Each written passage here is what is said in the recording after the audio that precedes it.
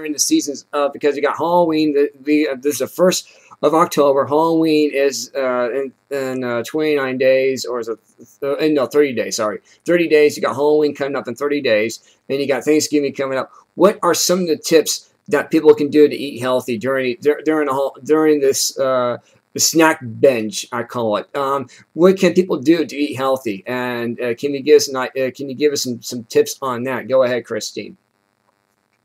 Uh, I do think that it's going to be difficult uh, to eat healthy, uh, but I think the um, most important thing is what I've said before is everything in moderation. So mm-hmm. instead of eating your full meal, maybe cut your portions in half and eat only half, and then let eat slowly and let the food settle in your stomach because mm-hmm. it takes about 20 minutes for your you to start from your first bite that you take for it to start you, your right. stomach to start feeling full. Mm-hmm. So if you eat slower and you just wait it out a little bit, you know, maybe you won't be as hungry and then you'll be able to eat mm-hmm. smaller portions. And so, mm-hmm. you know, I think that's probably the main tip is, is to just control what you're mm-hmm. eating and don't binge. Right. And also, um, what's a people it's amazing how people do not do not know how you know with with, with kitchen fires going on with, with Thanksgiving here about you know once in a while you hear about a um, a house uh, um, you know house fire with Thanksgiving. It's, it's, it's sad unfortunate it's sad it's unfortunate. Um, what can people do to actually make sure that they do not overcook or they not burn the burn the oven to, ke- to, to have a uh, kitchen fire. What's the proper temperature to cook a turkey for people who do not know how to cook a po- turkey properly? And what things can people do besides besides going to internet and, and doing research? Uh, what book, what kind of cookbook would you would you recommend to them? And uh, do you have any tips for those kind of people who are just beginning learning on their own how to cook a turkey from the from the very first time? What tips can you give them? Good question.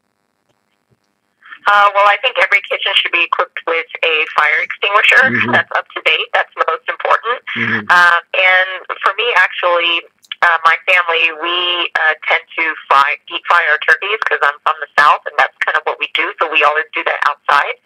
Uh, and I actually have a recipe for deep fried turkey in my cookbook, or you can find it online at my blog at theblindcook.com if you search for mm-hmm.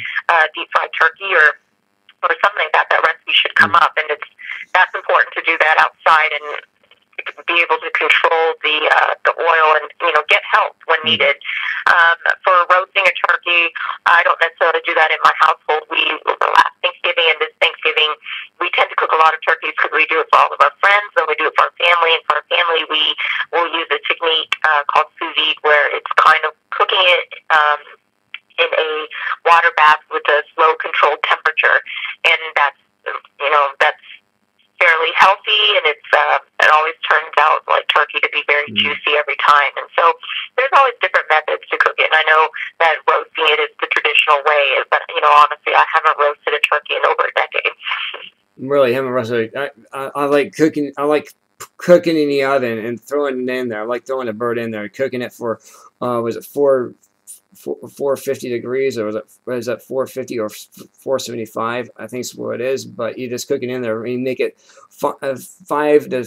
It depends, you know, anywhere between. It depends how how big a turkey is. Like last year, we had an 18 pound turkey. It took us almost six and a half hours to actually cook the thing. Make sure it was it didn't get burned and it did not uh, uh, it, it did not uh, get get over dried either. That's one thing you got to. That's one thing too. You have to be aware of. Don't over. Don't dry it. Don't dry it out. Just keep it nice and moist. And those are the those are the key tips that people need to do, and they, and how to make a proper turkey. You know. Uh, and uh, I like cooking the old-fashioned way, throw in the oven. And the best turkey is to go to if Foster Farms, believe it or not. This best the best one because it's fresh, it's natural, and it's uh, and it's naturally and it's and it's uh, um, and it's locally grown here. Believe it or not, it's locally grown. So um, that's that's probably the that's probably the best bet, right? Go ahead, Christine. Yeah, I think anyone I mean, they say like to get wild turkey or fresh turkey mm-hmm. is probably the best, but there a lot of times it's frozen turkeys, which is fine too if that's what you can afford and and if that's what's available. That's you know mm-hmm. that's fine. Just I do think that it's important if you're roasting a turkey to control the temperature, and then when you take it out of the oven, to keep it moist, you don't want to carve it right away. You want to wait a long time uh, before you carve it. I would say at least 20 Now. minutes. You can even let it sit for up to an hour out on the counter. And that's Yep. when all the juices kind of flow back in through the meat, and then that's where it's going to retain its juice. Because if you carve it right away, all the juice will just pour out, and then you're you'll lose a lot of juice in your turkey. Yeah, it's just uh, really